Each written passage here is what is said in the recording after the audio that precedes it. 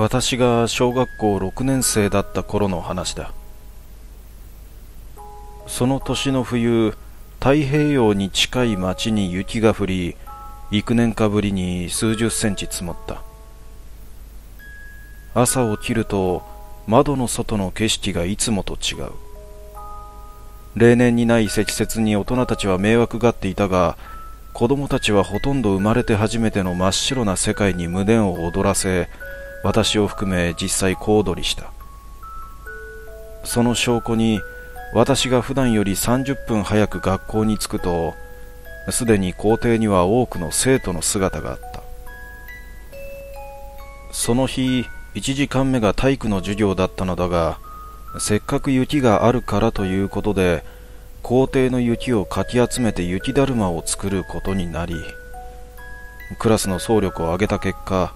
子供たちより背の高い巨大な横綱が完成した。頭にはちゃんとポリバケツをかぶせてあり両腕は木の枝。右手はボロボロの軍手で左手は赤い手袋。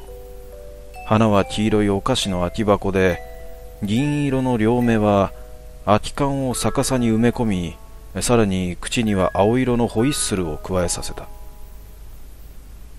く穴に細い枝を差し込みそれでもって固定するというやり方だ。胸の3つのボタンは色の違うペットボトルの蓋で花の形をした名札もつけた。これもまず木の枝に名札を固定し取れにくいよう胸のあたりに差し込んだ。彼は雪村君と名付けられた。名付け親は忘れたが雪だるまは名前を付けると溶けにくくなるのだと誰かが話していたのは覚えている。笛と頭のポリバケツと名前以外は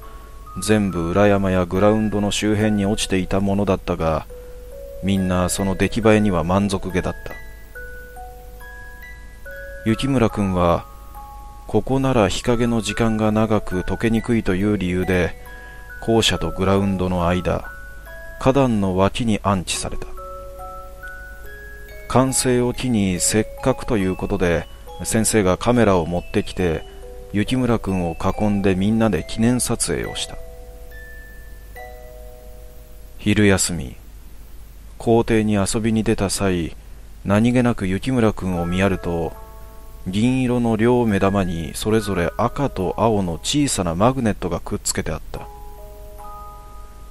誰かが教室の黒板から取ってきたのだろう。さらに口元がチョークの粉だろうか赤く色付けされていた。にんまりと笑っている。そういえば眉毛がないなと思った私は足元にあった落ち葉を2枚拾うと背伸びをして彼の目の上に押し込んだ。離れて眺めてみるとそれまでただ笑っていた雪村君が私のせいで少し困ったような笑みになっていた。その日の夜の天気予報では雪はもう降らないが寒気はまだ居座り最低気温が氷点下の日が何日かあるだろうとのことだった。翌日登校すると雪村君がその首にマフラーを巻いていた。親切な誰かが家からお風呂を持ってきたのか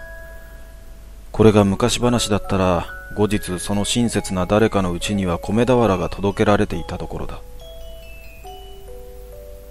あれ？つい先ほど校門前で一緒になった友達が言った。なあなあ雪村くんちょっと動いとらん？確かによく見ると昨日彼が立っていた位置と若干違っているようにも見える。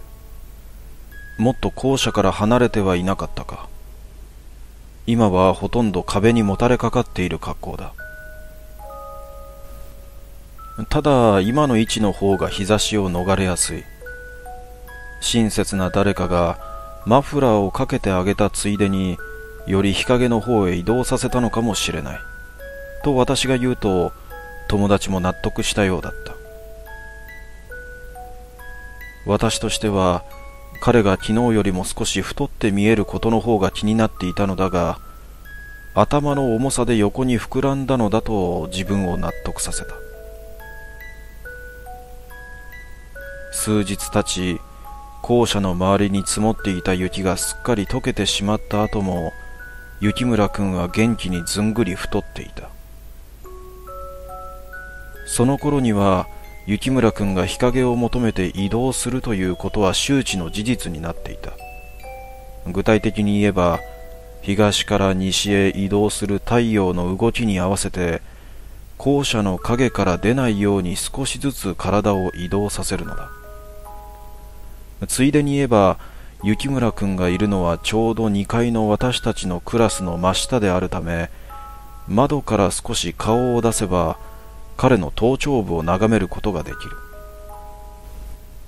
一度誰が雪村君を移動させているのか確かめようと思い窓際の席の友人に頼んで一日中それとなく監視してもらったのだが犯人を突き止めるには至らなかった。と言っても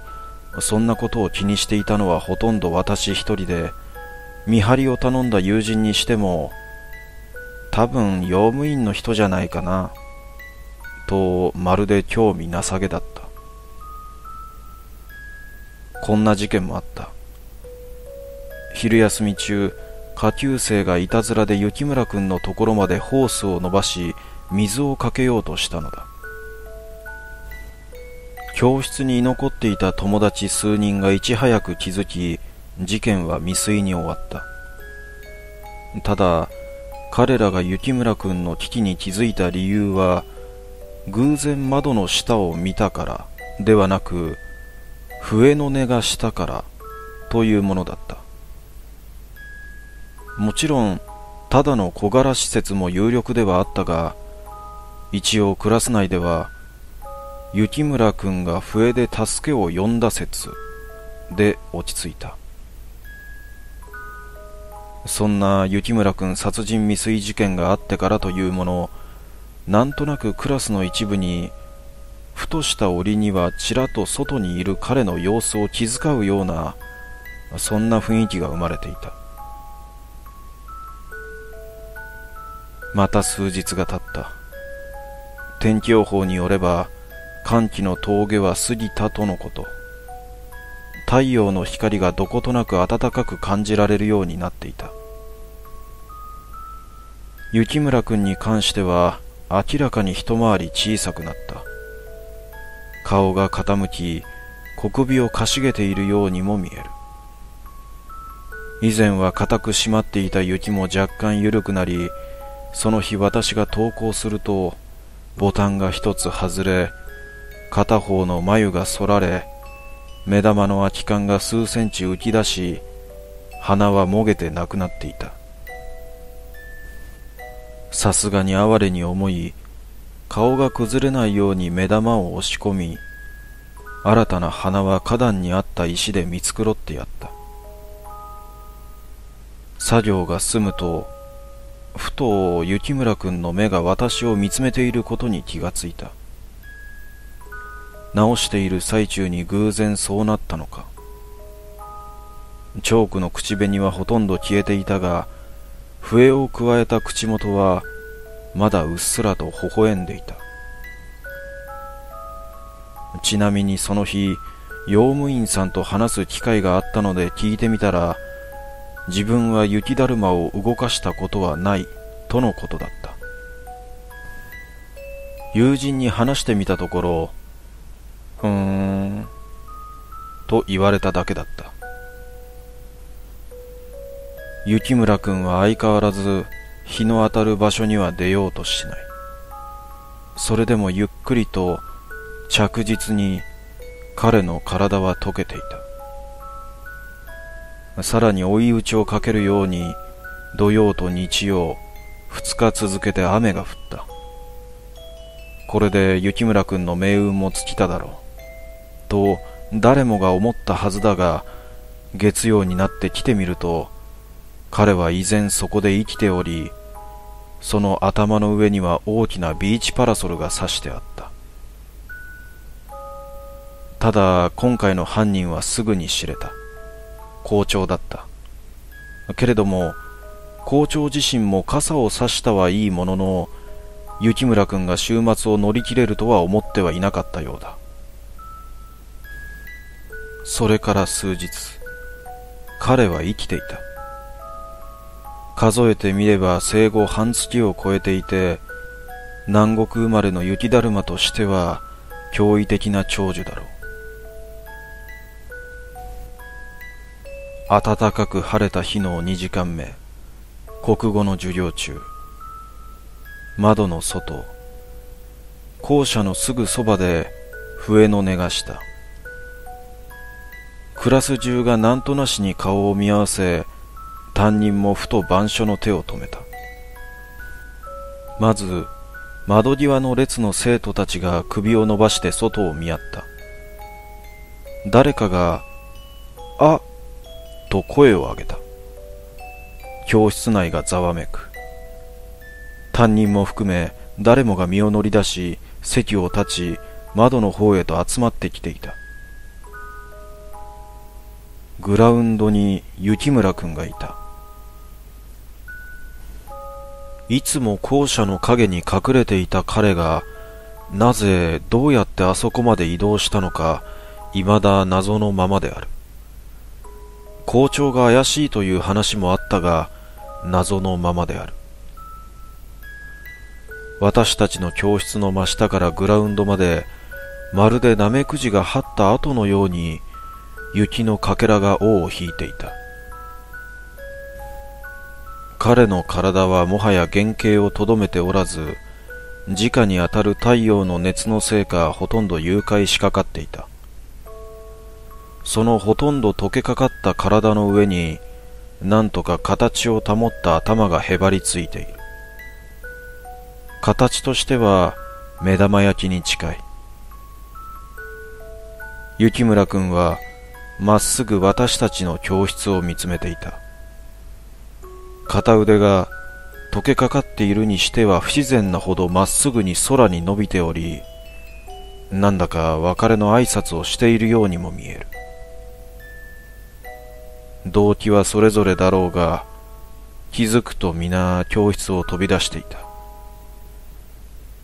グラウンドに着くと彼の体はさらに崩れていており先ほど空に伸びていた手は力なく倒れていた。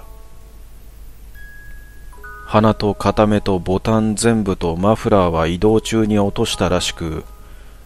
バケツがまだ頭に乗っかっていることが奇跡的に思える。クラスの全員が揃ったところで雪村くんの残った右目のあたりの雪がごそっと崩れ空き缶がグラウンドの上に転がった。担任が何かつぶやき目を閉じ手を合わせた。